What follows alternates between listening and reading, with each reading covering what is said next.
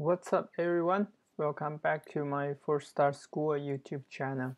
In today's lesson, we are going to learn GetX services and GetView in GetX package. And this is our seventh video talking about the GetX package.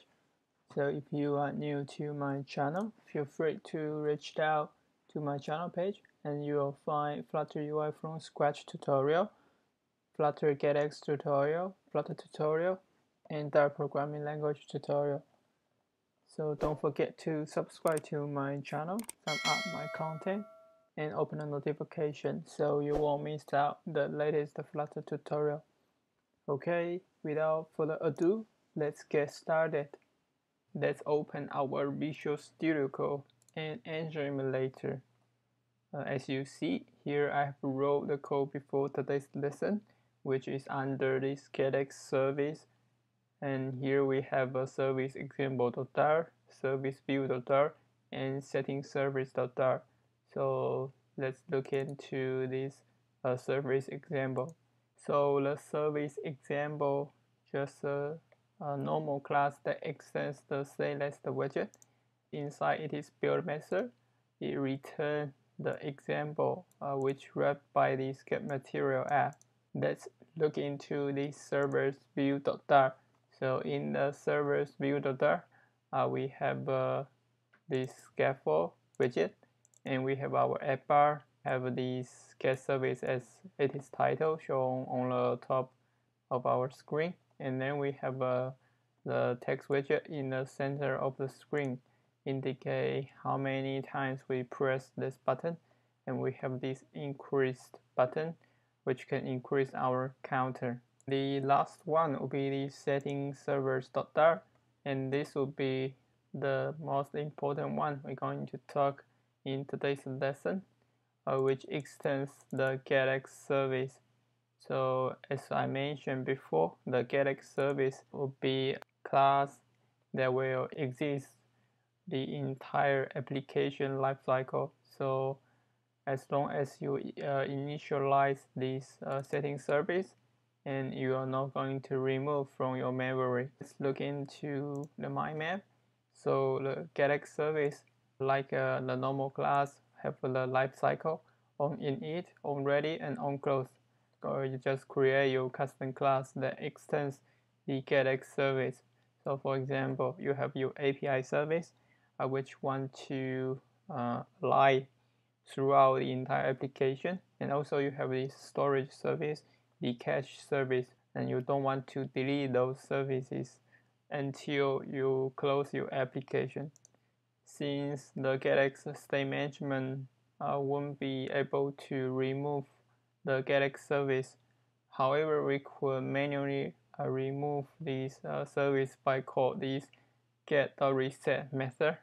So let's uh, look into the code example. So back to the Visual Studio Code. As you see, we have our setting service, right? And we have this initial method going to uh, read the data from our local storage. So in today's uh, example, I'm going to use another package, uh, which is a shared preference.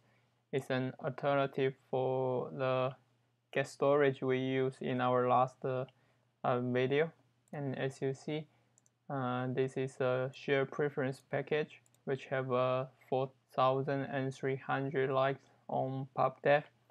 So back to today's code and you see I using this late keyword and I'm going to initialize this uh, instance of our share preferences in this init method right? And I'm going to use uh, this uh, await keyword to wait the instance then I'm going to make these uh, init method asynchronized uh, you will return the future of our current instance which is this uh, setting service. So we're going to call this method before run our application. So let's back to the main.dart file as you see. And before I run my application. First I'm going to uh, call this method uh, which is service init service right? And it's a asynchronized uh, method. Uh, so I return this future void and I'm going to await for uh, initialize our service. So inside this initial service method we going to print out uh, starting service and also service started before and end of initialize our setting server. As you see I using this put synchronized uh, method to synchronize put our survey into the memory. As you see here I call the setting service init method uh, which would be uh, this method and we're going to initialize our shared preferences and we can get the value from our local storage. And we set to the count variable. As you see here it will show how many times I have pressed uh, for this button. So back to main.dart uh, after we finish getting the, this data and we run this application. Uh, what's more um, another important uh, thing I want to mention is in line 16 you're going to make sure uh, you widget flutter binding initialized before you custom inject your uh, dependence into this Flutter app. So we need to call this line of code before you initialize your setting service or any kind of service, right? Let's restart our application and you're going to uh, look at this console very careful. As you see, I have a restart my application. So first I'm going to see this starting service right? And we are now run this application. So first we're going to run this uh, line 17 and we see this uh, starting service here. And then we're going to call this setting service dot init and which is uh, this method and we have uh, this line of uh, debug print on our console so the setting service initialized the share preferences and also share preferences is ready. That means uh, we have uh, already initialized our share preferences. So our counter will have uh, least 9, right, show on the screen. Okay, so and then you will set the service started, which is line uh, 26. Okay, so basically you can put uh, any servers, right? For example, you can like have your get storage and your hive, your share preference, uh, any kind of a synchronized um, function. So here I'm going to uh, increase our counter. For example, I increase to uh, 12. So I price uh, three times and I'm going to restart our application. So you're going to see and you will show I have uh, 12 times right? After we finish those initialized dependence okay? You see it doesn't change.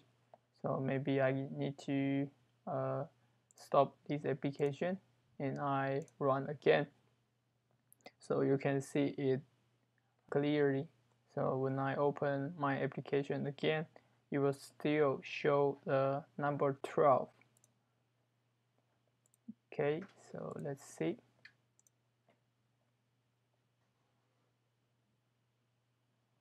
So we have this initial value would be a zero, but we're going to load it from our share preferences. So you're going to see it's 12 and it's not zero. So for the first time. Okay you see? Okay that's basically how you can use this get service in your flutter app. So let's back to the mind map. So the next thing i'm going to talk is this get view. So get view which means uh, it's a stateless widget have this getter controller for registered controller so that's back to our Visual Studio Code and here I'm going to change this service view.dart because you see uh, before uh, this build method I manually find our controller right, this line of code. So suppose you have uh, many uh, Dart file, each one you're going to file controller. Another way is you using this get view. So for example, you extend the get view and you specify the controller you're going to use, then you can actually like comment out this line of code. Right. So it basically do the same thing. So we're going to save our application. Okay, clear out the console and going to restart it. It won't broke the application. So basically, it just uh, have the getter method to get this controller for you. So you just need to specify what kind of controller you are using. Right, for example, here we're using this setting service. So we could increase this counter. That's all for today's lesson. Uh, it will be a short video talking about get service and get view. So don't forget to subscribe to my channel, sum up my content and open the notification so you won't miss out the latest Flutter tutorial. Okay, thanks for watching. I will see you in next video.